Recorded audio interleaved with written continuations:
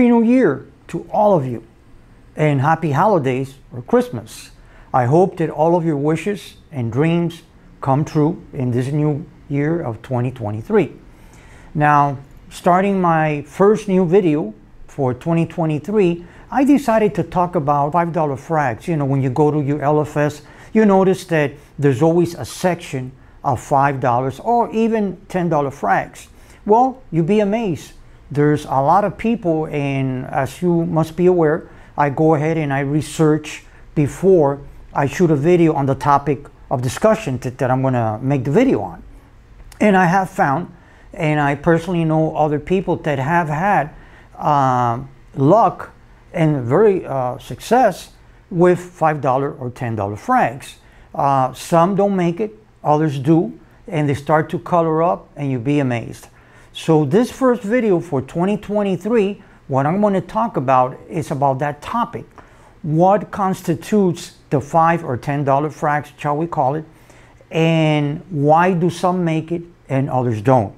And then as I do that, I'm going to go and show uh, all of you the different things that's been happening. And if you notice on the intro, I have some new stuff. So I hope you enjoyed this video, but before, don't forget to subscribe to my channel, hit that like button, and, and uh, smash that notification bell. So let's take a deep dive into it on this first New Year's 2023 video and check it out. Hold on. Okay, so here we are in front of the tank. But before I go ahead and I focus strictly on certain corals, I thought I, I'd give all of you like a basic knowledge when it comes to corals and like I said in the intro, uh, what constitutes a five or a ten dollar frag versus others.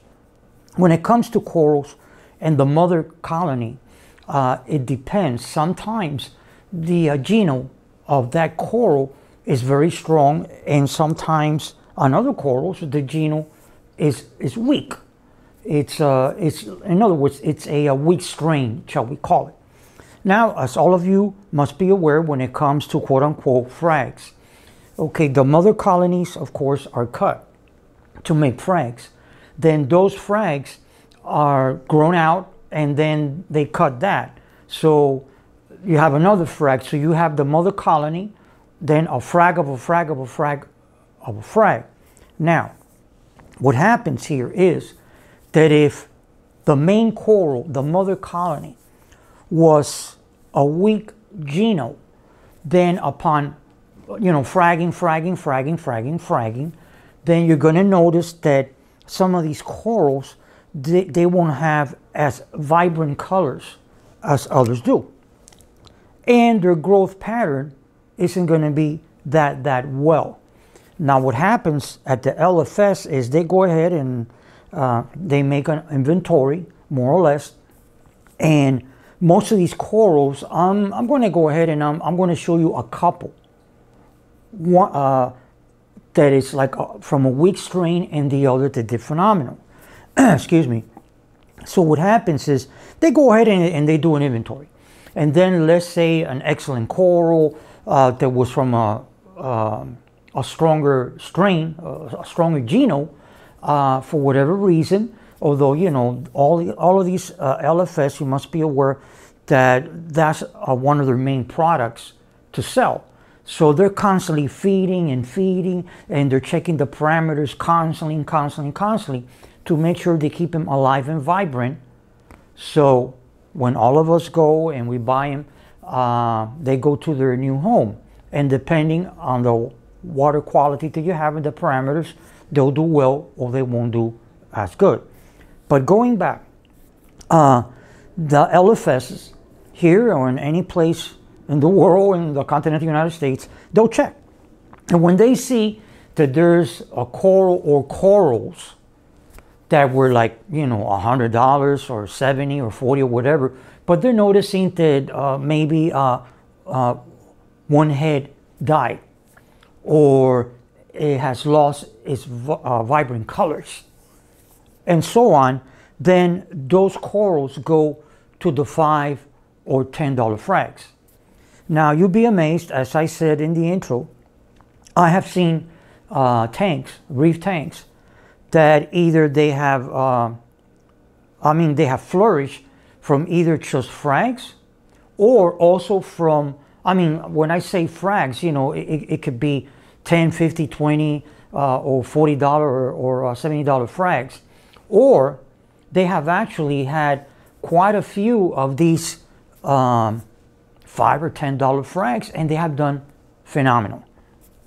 So what I'm going to do now is I'm going to get closer to, to the tank and I'm going to show you individual corals besides uh, general observation of the tank, how, how the tank is uh, doing.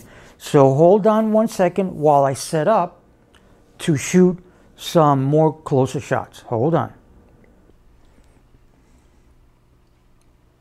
Okay, now the first coral that I'm showing you, this coral was a $5 frag. It only had one little polyp. It looked okay, it looked fine. It had the complete mouth. And this coral, be honest with you, if you follow me, you've noticed that I had placed it on different areas, but I decided to place it there. It likes it. And look at it now. Look at how many heads the coral actually has. As a matter of fact, if you look closely, you'll see actually uh, the feelers coming out feeding from the actual um, bacteria and little microscopic uh, um, animals that are there in the actual water column. So this is an example of a strong genome. The coral probably just had, you know, one uh, one little polyp. It, I, I don't. It's it's been here for quite a while. Your water parameters are within check or within, shall I say it, within normal limits, uh, it, it, should thrive.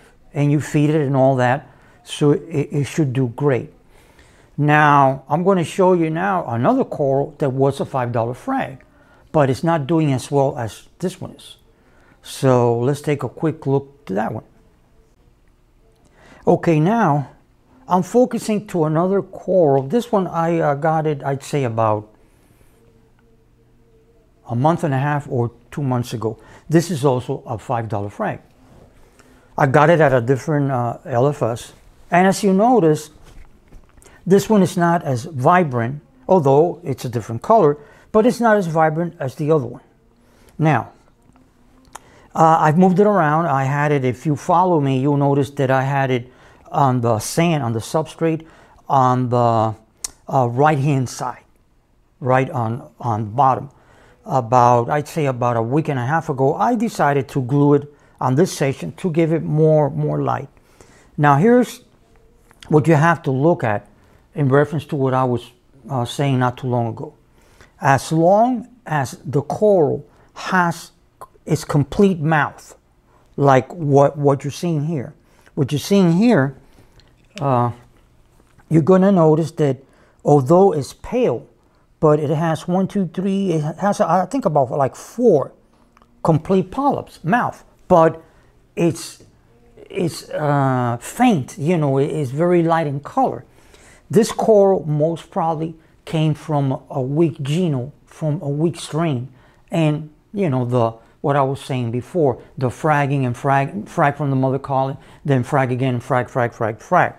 Now, as long as when the rule of thumb of buying these five or ten dollar frags is when you look at it, make sure that, that you can get them as much vibrant colors as possible. That's number one. Usually they're not uh, going to be like that due to the fact, well, that's that's why they ended up on the five or ten dollar frag.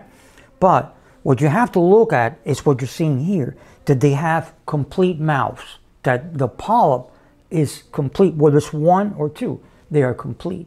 And if you have that, there is a, a hope that it'll make it through, it'll flourish like the other one that, that, that I just showed you, and it'll, uh, apparently, it will start to gain color and, and uh, grow and grow and grow. And again, like I mentioned before, I'm reiterating that feed it. You know, uh, try uh, these these corals that are cheaper, that are five or ten dollar uh, frags, uh, feed them. Uh, give it a little more uh, TLC. You know, uh, feed it directly and see and, and, just check it out. Now, I'm going to show you a ten dollar frag, These two that I showed you so far were $5 frags. Now I'm going to show you a $10 frag. Okay, now this coral that you're looking at, this little acropora, this is this was a $10 frag. The only problem I'm having, well, it's colored up, it's doing fine, it's not dying or nothing, but it just it won't grow. It just stays there. I went and they told me that it's a slow grower and all that, but it just won't grow. Uh, the colors are there. Uh, I don't see no section of die-offs or nothing, but the little rascal just, it won't grow. So this is an example of a, of a $10 frag. I would say that when it comes to the geno, and if it's a weak geno or a strong geno, I would say that this, this coral might be like right in the middle. It's not weak, weak, weak because it, it does have uh, the vibrant colors and, uh, and the polyps extend out and everything. But then at the same time, it won't grow like the previous, the first coral that I showed uh, all of you guys. It, it, won't grow. And I've, I've had this coral for more than five or seven months.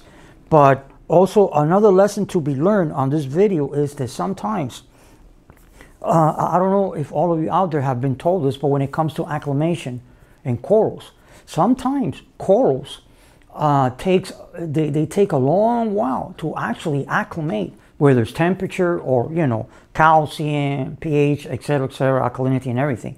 So sometimes you be surprised. It might take one week, two, it might take even a few months to actually acclimate to your actual water conditions. Then it goes ahead and it, and it starts to flourish. Well, I hope you enjoyed the video, found it educational and fun. Again, as I said on the intro, and I'll say it on the outro, don't forget to subscribe to my channel hit that like button and smash that notification bell. And until next time, bye bye. And again, Happy New Year.